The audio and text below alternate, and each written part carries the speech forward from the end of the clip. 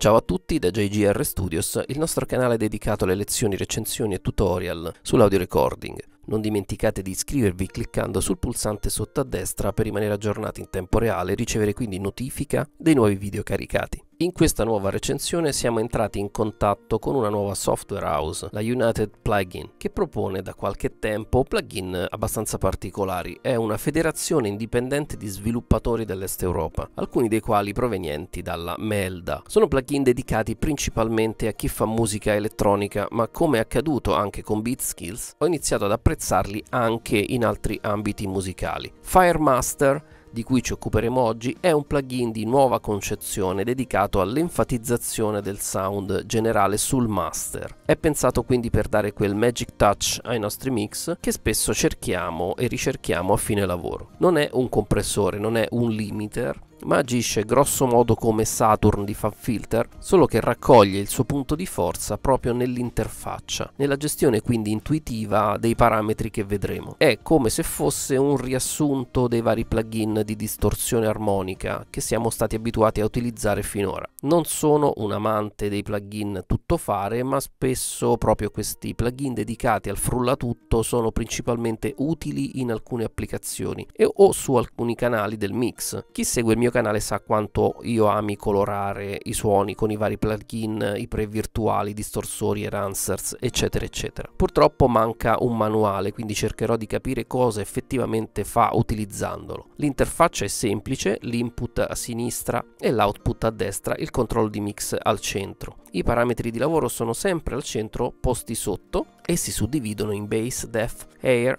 color, niente altro. Non usiamo i preset e vediamo come funziona azzeriamo tutti i parametri, creiamo quindi una situazione di bypass, andiamo in play.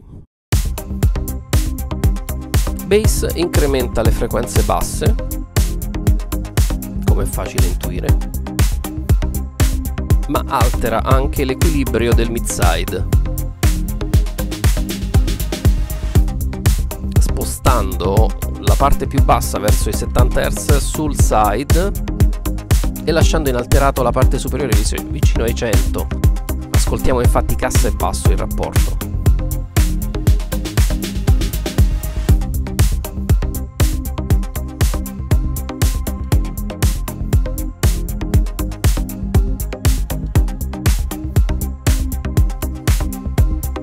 Air è un high shelf troppo ampio che modifica un po' la percezione anche dei medi.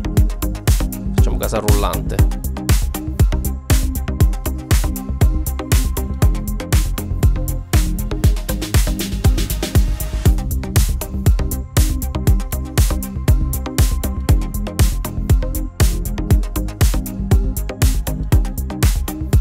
Occhio quindi a dosarlo, è un po' pericoloso. Def controlla il rapporto mid-side, quindi schiaccia leggermente il mid.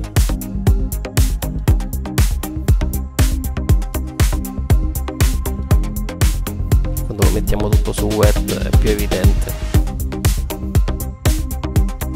Ecco così lo ascoltiamo meglio.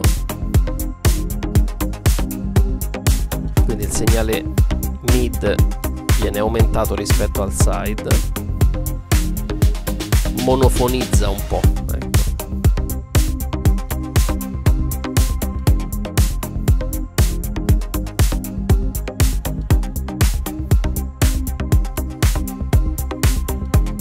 Mentre color aumenta la distorsione armonica.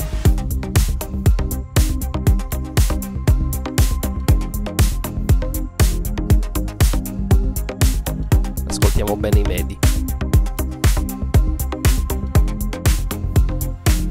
Rullante soprattutto.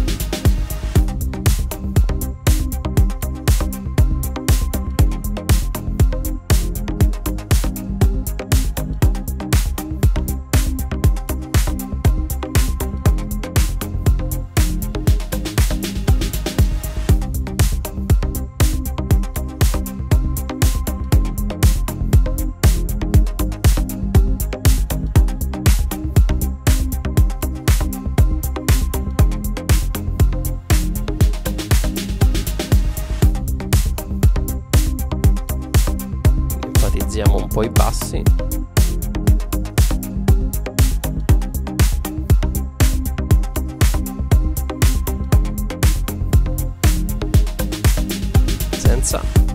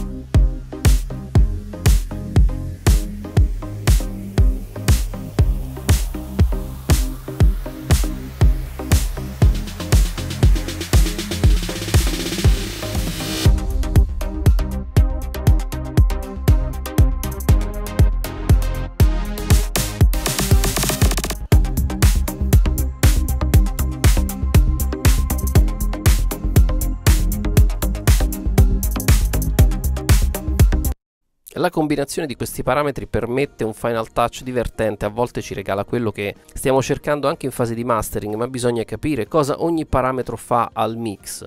È sicuramente una soluzione fast dedicata a chi ha bisogno di correzioni rapide nel mastering. Lo abbiamo ascoltato su una traccia pop che sto lavorando in questi giorni. Firemaster è un frullatutto per mastering secondo me interessante, facilissimo da usare, è in grado di creare veramente quel magic touch dove altri hanno fallito o che richieda l'uso di diversi plugin per essere attuato. Imparare a conoscere i parametri è fondamentale perché i preset non si prestano a tutti i tipi di applicazioni o tracce. La combinazione con il pulsante color e bass regala un effetto di emulazione nastro interessante. Non ho trovato entusiasmante il controllo sugli alti, quindi il air, ma probabilmente non si adatta al genere che sto lavorando in questo momento. Scaricate la demo, provatelo sui vostri master, in questi giorni è in offerta, approfittatene se vi piace. Per il momento è tutto, ciao a presto.